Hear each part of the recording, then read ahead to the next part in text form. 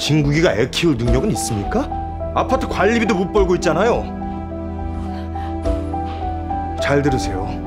이제 강희정 씨 집에 함부로 드나들지 마세요. 그 어떤 협박도 위력 행사도 안 참습니다.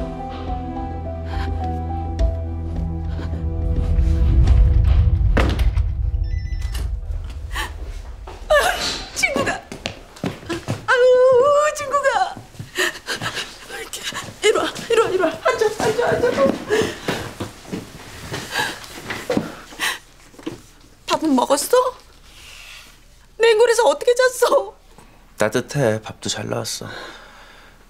정원이는 수업 있다고 갔어 세상에 지, 지 남편이 옥살이를 하는데 만나보지도 않고 우리 이번엔 한 발 물러서자 그 인간들 작정하면 너 하나 콩밥 먹이는 건 일도 아니야 아까다 가면 너 가은이보다 더 망해 일단 시키는 대로 써주고 응? 소송은 눈치 봐서 다시 시작하고 안 돼.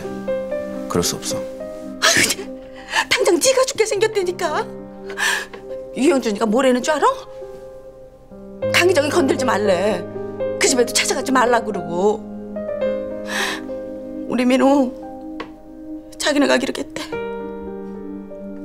네가 아파트 관리비도 못 버는 놈이란다.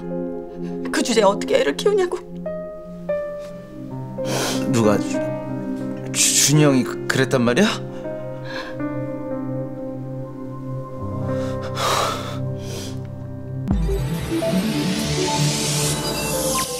KBS